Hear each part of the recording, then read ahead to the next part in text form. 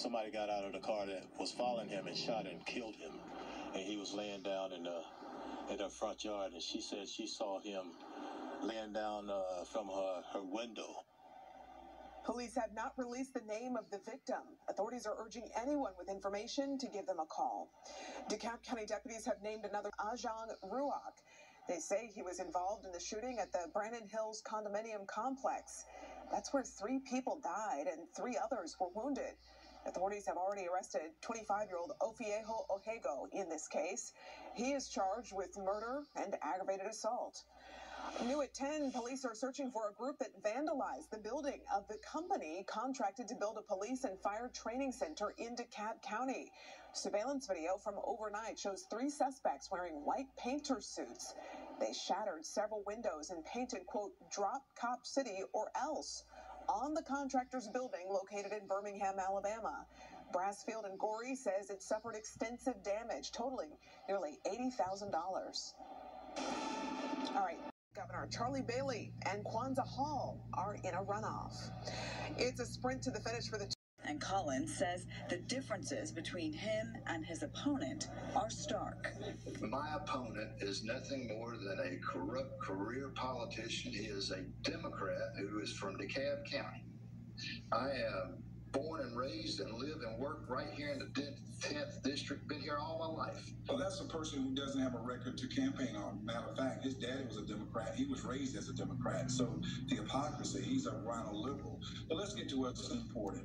Again, people want to know who's going to go to Washington and fight for them. Collins' father, Mac Collins, was a longtime Republican congressman, though he did begin his political career as a Democrat. Jones, a former state lawmaker, only recently switched parties, but he has the endorsement of former President Donald Trump.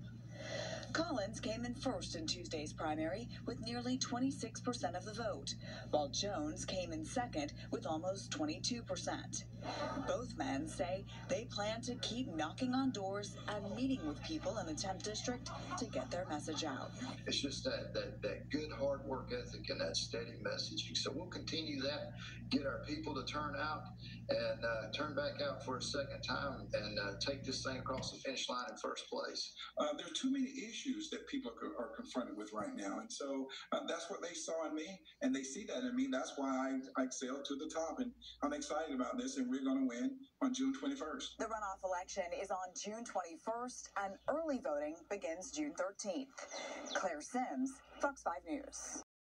That's why she supported higher gas taxes. A new sales tax supports higher property taxes. In Stacey Abrams, Georgia, it's all about her, not you. Where the investigation stands, still ahead. President Biden. News Edge reporter Rob DiRienzo. Yeah, well, take a look at these. We found these at the spot where this all happened. They are tiny, but the guy who was hit has a nice sized welt on him, and now he's weary to walk around his own neighborhood. We're walking in sessions along a rock wall, and I heard this tut tut tut tut sound. For Thomas Painter, a leisurely stroll around Marietta ended with a sting and a call to 911. He says the pellets were fired from a black pickup truck as he and his wife walked their neighbor's dog. Know, I looked back at my wife and the dog, and I was like, well, thank God they weren't shot. But Painter was. Check out this welt left on him. The black pickup then sped off. As soon as that happened, they gunned it and they turned right. Like in, in less than two seconds, they were out of view. Marietta police tell Fox 5 that they traced that truck back to a 16 year old boy who they say was behind the wheel at the time of the incident Sunday afternoon. It's not clear who, if anyone, was in the passenger seat. Cops said because of the suspect's age, they can't tell us much, but they say the teenager is charged. Neighbors on Session Street have been on edge ever since. You know, that's 59 small satellites into space that will be used for various types of data collection. This was SpaceX's 22nd launch and landing of the year. After that, you have the cost of war. Here he is, transformed shell shocked. It's called A Soldier's Journey. Five scenes, 38 figures, every story deeply personal and emotional, especially for veterans like Wilfred Selby, a medic who treated soldiers wounded in combat. And as he looks at the faces of these sculptures, he can't help but feel overwhelmed. It's, it's very emotional. What you were trying to do.